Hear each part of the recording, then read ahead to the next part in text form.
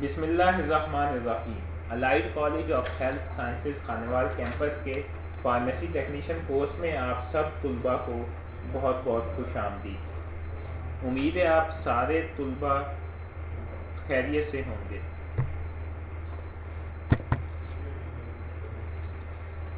Biochemistry में आज हमारा लेक्चर नंबर थर्टी फाइव है। और आज के लेक्चर के अंदर हम डिस्कस करेंगे nucleic acid chapter number two जो है डिस्कस कर रहे हैं। तो आज का जो हमारा टॉपिक होगा इस लेक्चर नंबर थर्टी फाइव में वो है जी difference differences of RNA and DNA structure of DNA and some terms यानी आज हम आरएनए और डीएनए का डिफरेंस पढ़ेंगे। डीएनए का जो स्ट्रक्चर है, कि डीएनए किस तरह बना होता है, उसको डिस्कस करेंगे और कुछ टर्मिनोलॉजीज़ हैं, उनको जो है आज डिस्कस करेंगे। Differences between DNA and RNA. हमने डिस्कस किया था कि डीएनए और आरएनए जो है, ये एक जेनेटिक मटेरियल है, ये वरासती मादा है, जो कि और इसको जो है डीएनए आरएनए को न्यूक्लिक एसिड कहते हैं। ये न्यूक्लियस के अंदर मौजूद होता है। अब इस डीएनए और आरएनए के जो आपस में जो इनका डिफरेंस है, फ़र्क है, हम उसको डिस्कस करते हैं। DNA DNA is a polymer of deoxyribonucleotides RNA is a polymer of ribonucleotides यानी ये जो डीएनए है, इसके अंदर डीऑक्सीराइबोन्यूक्लियोटाइड यानी डीऑक्सी शुगर जो है, वो शामिल होती है। उसका जो न्यूक्लियोटाइड बना होता है। न्यूक्लियोटाइड हमने पढ़ा था combination of pentose sugar nitrogenous base and five carbon sugar ये तीन कंपोनेंट होते हैं। तीन इन तीन कंपोनेंट से जो है, ये न्यूक्लियोटाइड बना होता है। Nitrogenous base, five carbon sugar and phosphate group. ये तीन जो है nucleotide is the combination of nitrogenous base phosphate group and five carbon sugar. ये तीन जो है, कंपोनेंट है। अब अगर इस कंपोनेंट में फाइव कार्बन शुगर में D oxy ribose deoxy sugar जो है, वो शामिल हो, यानी वो वाली शुगर जैसे ये है। कि जिसमें हाइड्रोक्सल ग्रुप को हाइड्रोजन के साथ रिप्लेस कर दिया जाए। यहाँ पर ये देखें कि ये इस शुगर के अंदर ये हाइड्रोक्सल ग्रुप है। अब इस हाइड्रोक्सल ग्रुप को जो है हाइड्रोजन के साथ हमने रिप्लेस कर दिया। या आपस में जब ये केमिकल इंफेक्शन होता है या केमिकल रिएक्शन होता है तो उसमें यहाँ पर हाइड्रोजन ग्रुप जो है, वो अटैच हो जाता है। उसको कहते हैं जी D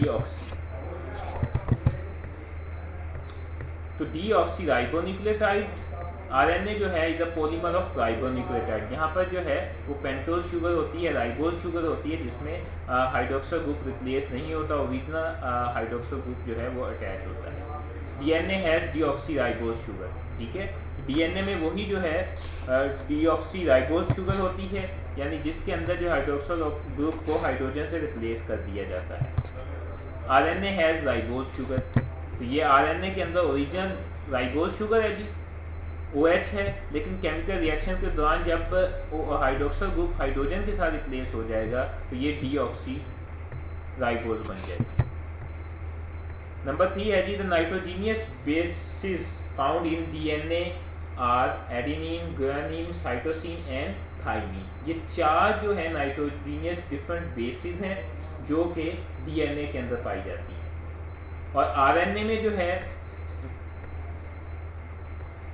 the nitrogenous bases found in RNA. यहाँ पर जो है, ये डीएनए लिखा गया है, लेकिन यहाँ पर आरएनए आएगा। RNA are adenine, guanine, cytosine and uracil. ठीक है, यहाँ पर जो है ये थाइमीन है तो थाइमीन की जगह पर यूरासिल जो है, एक बेस जो है, इसके अंदर डिफरेंट होती है। Only uracil is replaced with thymine. तो इसके अंदर जो है, adenine, guanine, cytosine and uracil होती है आरएनए के अंदर, जबकि डीएनए के अंदर adenine guanine cytosine and thymine जो है, ये बेसिस मौजूद होती है। The amount of DNA remain constant in the cell ये डीएनए की क्वांटिटी जो है, वो एक ही रहती है सेल के अंदर। जबकि आरएनए की क्वांटिटी जो है, वो सेल टू सेल वेरी होती रहती है, तब्दील होती रहती है। DNA has only two polynucleotide chain DNA के अंदर जो है, दो पोली न्यूक्लियोटाइड चेन होती है। ठीक है? न्यूक्लियोटाइड मैंने बताया था nucleotide is the combination of three component five carbon sugar phosphate group and nitrogen base ठीक है, ये एक चेन होती है, ये तीनों कंपोनेंट्स चेन में बारी बारी लगे होते हैं। तो जब ये दो चेन इन दो चेन जो होती हैं डीएनए में दो चेन होती हैं, जिस तरह ये, ठीक है, ये डबल चेन ये आपस में लिपटी हुई है कोयल की तरह स्प्रिंग की तरह जो है आपस में ये बाइंड हुई हुई है। तो ये दो चेन होती हैं इसके अंदर। R N A has only R N A has one polynucleotide है। और आरएनए के अंदर जो है, ये सिंगल न्यूक्लियोटाइड चेन होती है। ये जिस तरह ये है, ये दिखाया गया आरएनए ठीक है? तो ये सिंगल चेन जो है आर एन ए के अंदर, ये सिंगल चेन होती है। ठीक है जिस तरह ये दो हैं आरएनए के अंदर ये एक नहीं होगा। ये कोई लिपटी हुई नहीं होगी सिर्फ़ सिंगल होगी ये इसी तरह आपस में लिपटी हुई होगी। जिस तरह इसके अंदर ये दो चेन है ठीक है एक जो है सब्ज है दूसरी ब्लू है तो आरएनए के अंदर ये एक चेन होगी। या तो सब्ज होगी या ब्लू होगी डबल नहीं होगी। DNA is present in nucleus uh, nucleic acid and small amount of DNA is present in mitochondria. DNA जो है ये न्यूक्लिक न्यूक्लियस के अंदर मौजूद होता है, ठीक है? न्यूक्लिक एसिड होता है न्यूक्लिक एसिड के अंदर डीएनए आरएनए दोनों होते हैं और ये न्यूक्लिक एसिड जो है ये न्यूक्लियस के अंदर मौजूद होता है। DNA is present in nucleic nucleic acid और न्यूक्लियस ठीक है? ये डीएनए याद रखना है कि ये न्यूक्लियस के अंदर मौजूद होता है और small amount of DNA is present in mitochondria लेकिन जो कुछ क्वांटिटी में माइटोकॉन्ड्रिया के अंदर भी ये मौजूद होता है। माइटोकॉन्ड्रिया क्या होते हैं कि mitochondria is the powerhouse of the cell cell के पावर हाउस कहा जाता है। वहाँ से सेल को एनर्जी मिलती है। R N is present in nucleus ribosomes and cytoplasm लेकिन जब आरएनए जो है ये न्यूक्लियस के अंदर भी मौजूद होता है राइबोसोम के अंदर भी मौजूद होता है और साइटोप्लाज्म में भी मौजूद होता है। तो ये जी this is the difference between DNA and RNA structure of DNA तो स्ट्रक्चर ऑफ़ डीएनए में जो है, हम डिस्कस करते हैं वाटसन क्रिक्स मॉडल ठीक है? कि डीएनए का स्ट्रक्चर जो है, ये दो साइंटिस्ट हैं वाटसन एंड क्रिक्स तो इन दोनों का जो है तो वाटसन एंड क्रिक्स ये दो साइंसदान थे, इन्होंने स्ट्रक्चर को जो है वो डिस्कवर किया दरियाफ्त किया डीएनए को। तो जो स्ट्रक्चर इन्होंने जो डिस्कवर किया, उसको कहते हैं जी वाटसन एंड क्रिक्स मॉडल ठीक है? Watson and Crick discovered the structure of DNA and shared the Nobel Prize in 1962 for their discovery अब ये वाटसन और क्रिक्स जो है discover the structure of DNA DNA का स्ट्रक्चर इन्होंने दरियाफ्त किया, मालूम किया और उनकी इस डिस्कवरी के ऊपर, इस दरियाफ्त के ऊपर इन दोनों को जो है, इकट्ठा जो है, वो नोबल प्राइज़ दिया गया 1962 में। इन्होंने जो है, इन दोनों साइंसदानों को जो है नोबल प्राइज़ जो है, इकट्ठा इनमें आपस में जो है, इन्होंने शेयर किया इकट्ठे नोबल प्राइज़ जो है, इस डिस्कवरी के ऊपर दिया गया। अब इस स्ट्रक्चर के मुताबिक according to this structure DNA is made up of two polypeptide chain DNA जो है, ये दो पोलीपेप्टाइड चेन पर मुश्तमिल होता है। ठीक है, ये दो चेन है। ये पोलीपेप्टाइड चेन है। पोलीपेप्टाइड चेन का मतलब इसके अंदर जो है फास्फेट फाइव कार्बन शुगर और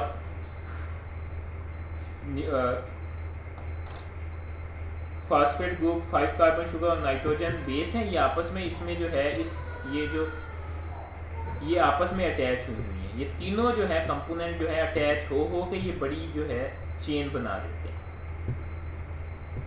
ठीक है? तो ये इस तरह ये दो चेन बनी हुई है। जब ये चेन जो है, ये पेप्टाइड बांड के ज़रिए आपस में जो है ये चेन अंदर में जो है ये तीनों कंपोनेंट बांड के ज़रिए जुड़ते हैं। जुड़ने के साथ जो है, जब ये पोली कहते हैं, ज़्यादा हो। ठीक है?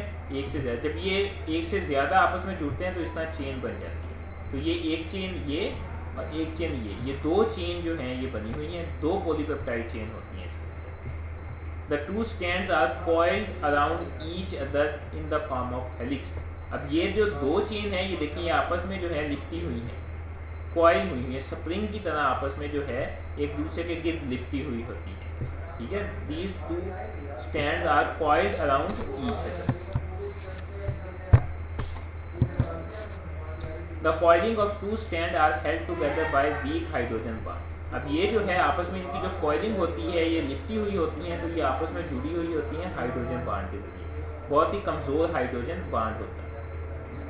There are two hydrogen bonds between adenine and thymine. Pair and three hydrogen bonds are between guanine and cytosine. अब ये दोनों पोलीपेप्टाइड जो होते हैं, इसके अंदर नाइट्रोजीनियस बेस होती हैं। डीएनए है तो डीएनए में मैंने आपको बताया था कि उनके अंदर adenine cytosine guanine and thymine ये चार नाइट्रोजीनियस बेस होती है, ठीक है? अब इसमें आप देखें कि अब ये साइटोसिन है, इसकी एक चेन में सामने आ रही है इसके, और इधर से एक गोयानीन है। ये साइटोसिन और गोयानीन जो है, इनमें आपस में ये देखें, ये तीन हाइड्रोजन के बांड हैं बने। इसी तरह इस चेन में आगे जो है, ये एडिनिन आ गई है। तो ये एडिनिन जो है, ये इधर से थायमिन के साथ, दूसरी चेन में थायमिन के साथ जो आपस में जुड़ी है, वहाँ पर इसके दो बांड हैं। तो ये एडिनिन और थायनिन आपस में दो बांड बनाते हैं, जबकि ग्यानिन और साइटोसिन जो है, ये आपस में तीन बांड जो है, ये बनाते हैं।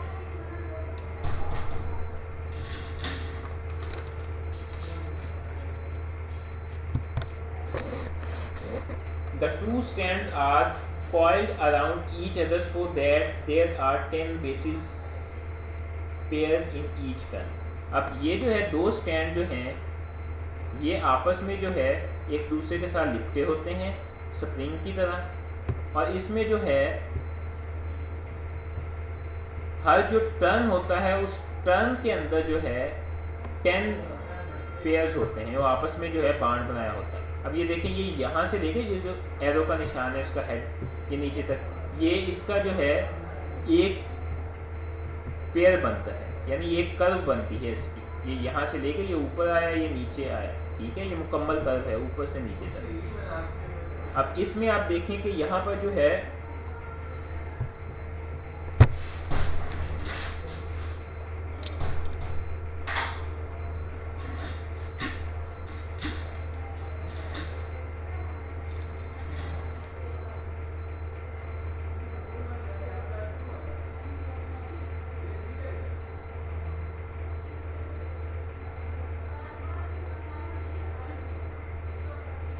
तो इसमें अब तो ये अब ये पूरी जो कॉइल है कर्व है तो इस कर्व में आप देखेंगे ये एक, दो, तीन, चार, पाँच, छ, सात, आठ, नौ, दस, ठीक है? तो ये दस जो है, ये बेसिस के पेयर बने अब ये देखिए, ये यहाँ पर ये माइनर ग्रूव का मतलब होता है कर्व नुमा, ठीक है? कर्व जो होती है, ये आपस में जो है जो जुड़ी हुई होती है या तो तो यहाँ पर ये देखें ये ये नीचे मेंशन भी किया गया है कि ये एडिनिन है थाई थाइमिन के साथ ये गुआनिन है। तो ये गुआनिन जो है, ये साइटोसिन के साथ, ये फिर थाइमिन है एडिनिन के साथ। तो ये जो पेयर बने हुए हैं, ये एक उसमें चार हैं। तो ये इसी तरह जो है, एक उसके अंदर जो है कॉयल के अंदर, ये जो कॉयल है, ये एक कर्व जो है, उस कर्व के अंदर जो है, वो टेन जो है टेन बेसिस होती हैं। ये आपस में इन्होंने जोड़े बनाए होते हैं। तो ये जो ग्रूव है, यानी ये जो चक्कर है, या ये जो ये जो झरी या कर्व या चक्कर जो बना हुआ है ये ये, ये वाला कर्व ठीक है? अब ये बड़ा कर्व है नीचे ये ऊपर ये छोटा ग्रूव है। तो इसके अंदर जो है टेन नाइट्रोजीनियस ये जो नाइट्रोजीनियस बेसिस है एडिनिन थायमिन ग्यामिन तो इनके जो है टेन पेयर्स होते हैं। ठीक है? ये एक एरो के अंदर दिखाया गया है। इसके अंदर ये सारे ये दस के करीब जो है ये बेसिक है।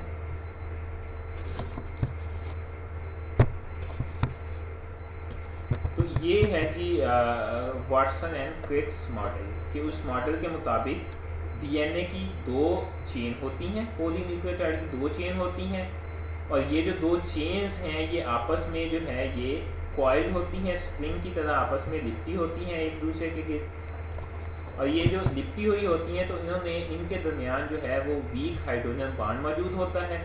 और इनके दरमियान, इन पोलीपेप्टाइड चेन में जो न्यूक्लियो नाइट्रोजन बेसिस होती हैं, वो दोनों जो चेन होती हैं, वो दोनों चेन के अंदर जो नाइट्रोजीनियस बेस होती है या नाइट्रोजन बेसिस जो होती हैं, वो आपस में जो है, वो हाइड्रोजन बाड बनाती हैं। उनमें जो साइटोसिन और गोयानीन जो है साइटोसिन और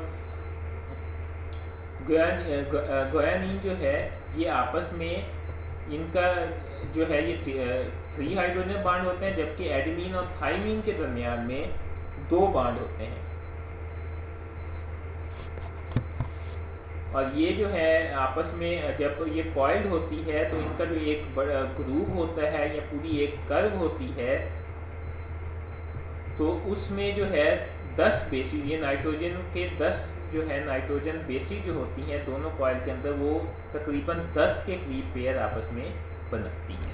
तो this is the structure of Watson and Crick's अब रिप्लिकेशन ऑफ़ डीएनए क्या होती है? यानी डीएनए का जो है नया डीएनए बनाने का जो अमल होता है उसका जो अपनी कॉपी बनाना जो होता है नया डीएनए बनाना उसको कहते हैं replication of DNA replicate copy banana. Replication means to make exactly same copy of DNA. In this process, two coils stands open then in front of each other. Each stand and new nuclear uh, nucleotide join to make new copies. अब ये देखें ये एक जो है DNA का वो है डबल स्टैंडर्ड न्यूक्लियोटाइड इसमें अटैच है अब यहाँ पर जो है हर स्टैंड जो है ये ओपन होता है दोनों स्टैंड ओपन होते हैं और हर स्टैंड अपने साथ दूसरा एक जो है स्टैंड बना लेता है डीएनए का और इसका जो है एक नई कॉपी बन जाती है दोनों अब देखिए दोनों जो है ये दोनों स्टैंड जो है, ये दोनों धागे उसमें जो है, इन्होंने अलहदा अलहदा होकर नया डीएनए की कॉपी बना दी। अपना एक नया डीएनए स्टैंड जो है पैदा किया है, वो पैदा करके उसकी नई कॉपी बनती है। ठीक है, ये है न्यू स्टैंड और ये ओल्ड स्टैंड है, अब नया डीएनए का ये स्ट्रक्चर बन गया इसको कहते हैं रिप्लीकेशन ऑफ़ डीएनए अब इसमें कुछ टर्म्स हैं जिस तरह ये क्रोमोसोम्स है। Are thread like structure located inside the nucleus of animal and plant cell अब क्रोमोसोम जो है, ये धागे की तरह का एक स्ट्रक्चर होता है, ठीक है, जो कि प्रोटीन से प्रोटीन हिस्टोन होती है, उससे बना होता है और ये एनिमल में या प्लांट सेल में लिविंग सेल के अंदर मौजूद होता है, तमाम लिविंग सेल के अंदर। अब ये each chromosome is up of protein, यानी histones and a single molecule of deoxyribonucleic acid ठीक है? इसके अंदर deoxyribonucleic एसिड होती है यानी डी डीऑक्सीराइबोज या डीऑक्सी शुगर मौजूद होती है जिसके अंदर हाइड्रोक्सल ग्रुप को हाइड्रोजन के साथ रिप्लेस कर दिया जाता है। ये क्रोमोसोम है थ्रेड की तरह का स्ट्रक्चर ठीक है? ये न्यूक्लियस है। न्यूक्लियस के अंदर ये जो है डीएनए के अंदर डीएनए में बन, बना हुआ है डीएनए से। तो डीएनए इससे मिलकर बनता है क्रोमोसोम ये क्रोमोसोम जो है ये उसका स्ट्रक्चर है क्रोमोसोम का। ठीक है? अब इस क्रोमोसोम के अंदर देखिए, ये डीएनए है। ये जो बने हुए हैं ना, इसके अंदर ये धागा बारीक सा जो है, ये धागा जो है, ये इस तरह इसके अंदर ये डीएनए जो है, इस धागे के अंदर ये डीएनए मौजूद है। इसको अगर बड़ा करके देखें। अब हर स्पीशीज या हर लिविंग थिंग ये जानदार जो है, उसके अंदर क्रोमोसोम की मखसूस तादाद होती है। ठीक है? तो ये क्रोमोसोम जब पेयर की फॉर्म में होते हैं, ठीक है? ये देखें। ये क्रोमोसोम्स जो है, ये पेयर की फॉर्म में होती है, ये पेयर बना हुआ जोड़ा ठीक है तो हर जानदार के अंदर क्रोमोसोम की मखसूस तादाद स्पेसिफिक क्वांटिटी होती है, या उसके पेयर होते हैं, जोड़े होते हैं। अब जिस तरह समझे ह्यूमन सेल है, उसके अंदर छियालीस क्रोमोसोम इस तरह के छियालीस होंगे। ठीक है? तो इस क्रोमोसोम का जो है, वो पेयर बना होता है। जब पेयर बन जाएँगे तो छियालीस, वैसे सिंगल जो होंगे, वो छियालीस होंगे, जब पेयर होंगे तो वो ट्वेंटी थ्री जो है पेयर होंगे। इसी तरह जो है पी प्लांट जो है, मटर का जो पौधा होता है, उसके सेल के अंदर चौदह क्रोमोसोम होते हैं, यानी सात पेयर बन जाते हैं मंकी के सेल के अंदर फोर्टी एट क्रोमोसोम होते हैं, यानी चौबीस पेयर बन जाते हैं। मेज प्लांट जो है, यानी ज्वार या जौ जो होता है, उसका जो सेल होता है, उस पौधे का, उसके अंदर ट्वेंटी क्रोमोसोम्स होते हैं, यानी टेन पेयर बन जाते हैं। ऑनियन प्याज, उसमें सोलह क्रोमोसोम्स यानी आठ पेयर और इसी तरह जो कैट सेल जो होता है, उसके अंदर थर्टी क्रोमोसोम्स होते हैं और थर्टी क्रोमोसोम है तो यानी पंद्रह पेयर जो है फिफ्टीन पेयर जो है वो बन जाते हैं। Gene gene is the part of DNA which has the message for one polypeptide chain. It is the unit of biological inheritance. अब जीन जो है, ठीक है, ये पार्ट है डीएनए का हिस्सा है। ये दिखाया गया है। अब ये जो है, ये डीएनए का हिस्सा है, छोटा, ये जीन्स जो होते हैं। अब जीन जो है, ये बायोलॉजिकल इनहेरिटेंस यानी एक सेल के अंदर दूसरे सेल में जो विरासती मादा जाता है, ठीक है? तो ये विरासती, विरासत होती है। सेल की विरासत होती है। सेल के अंदर जो biology unit of biological inheritance biological inheritance का मतलब जो लिविंग सेल के अंदर विरासती खसूसियात या मादा जाता है तो ये उसका यूनिट होता है। तो वो विरासती मादा डीएनए आरएनए होता है तो ये डीएनए का पार्ट होता है। और इसके अंदर जो है, ये पोलीपेप्टाइड चेन यानी ये दो पोलीपेप्टाइड चेन है ना, दो स्टैंड हैं, दो धागे हैं तो ये तो इस धागे को जो है, वो पोलीपेप्टाइड कहते हैं, ये दो पोलीपेप्टाइड चेन है तो इसके अंदर ये ये जो पार्ट है ये क्रोमोसोम जो है, ये देखें, ये इस तरह ये बनकर जो है क्रोमोसोम को अगर बड़ा करें, इसको ये एक हिस्सा काट कर अगर बड़ा करें तो इसका डबल स्टैंडर्ड ये सारा स्ट्रक्चर होगा। तो इस डबल स्टैंडर्ड के अंदर अगर हम माइनर जो है, एक स्टैंड को अगर सेपरेट करें तो वो सेपरेट वो जो फिलामेंट्स होगा, या जो हमने पार्ट अलहदा किया होगा, वो जीन होगा।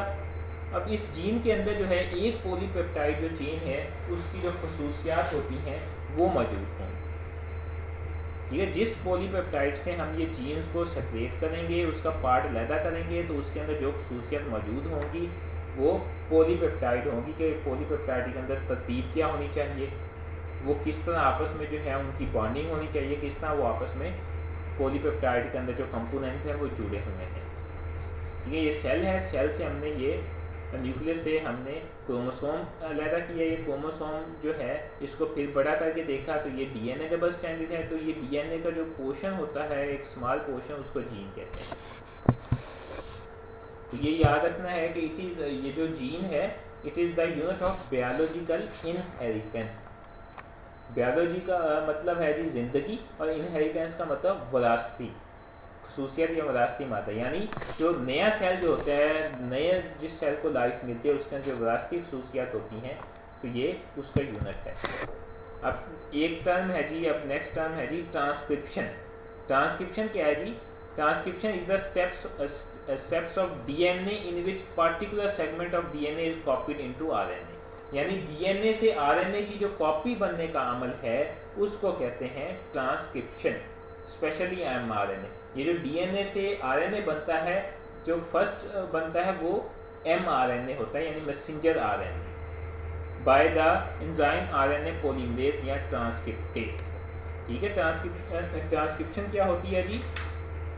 The formation of RNA, the process by which made from D N A with the help of enzyme RNA polymerase और ट्रांसक्रिप्टेज उसको ट्रांसक्रिप्शन कहते हैं। यानी डीएनए से आरएनए का बनने का जो अमल है, उसको कहते हैं ट्रांसक्रिप्टेज अब ये जो है, ये डबल स्टैंडर्ड डीएनए है।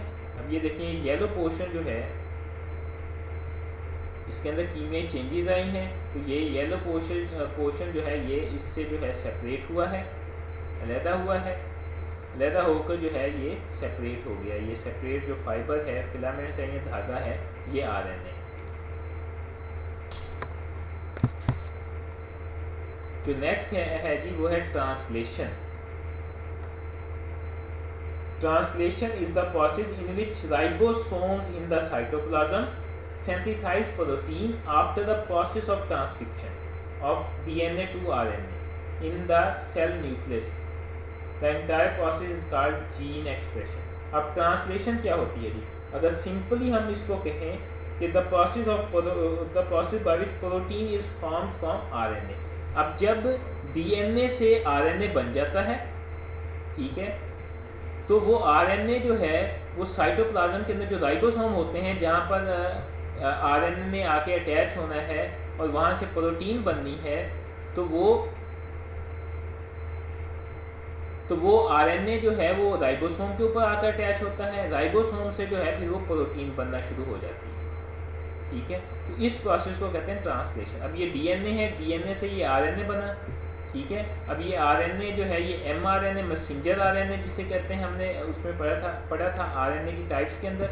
अब ये एम आर एन ए आकर राइबोसोम के ऊपर अटैच हुआ। अब इस राइबोसोम का काम जो है, वो प्रोटीन बनाना है। तो ये M R N A attach हुआ, उसके अंदर जो है, वो विरासती खसूसियात थी डी एन ए की। ठीक है? डी एन ए ने अपनी विरासती खसूसियात इस एम आर एन ए में मुंतकिल की तो इस प्रोटीन के अंदर वो विरासती खसूसियात शामिल हो जाएँगी। तो ये राइबोसोम से जो प्रोटीन बनने का अमल है, ठीक है, उसको कहते हैं translation. The process by which protein is formed by the help of RNA is called translation तो ये जो पूरा प्रोसेस होता है, इसको इंटायर जो प्रोसेस है, इसको कहते हैं जीन एक्सप्रेशन यानी जीन का अपने आप को ज़ाहिर होना या जीन का ज़ाहिर होकर जो है एक्सप्रेस करना वाजे होना, इसको कहते हैं जीन एक्सप्रेशन अब इस पूरे प्रोसेस में ये जो जीन्स है आरएनए की फॉर्म में या डीएनए की फॉर्म में, ठीक है, वो वाजे हो रहे हैं. तो ये जो वाजे होने का अमल है क्लियर होने का जो प्रोसेस है, उसको कहते हैं gene expression So this is all about today lecture of uh, differences between RNA, DNA, structure of DNA and some terminologies like chromosome, genes, transcription, translation. ठीक है So thank you so much for your kind attentions.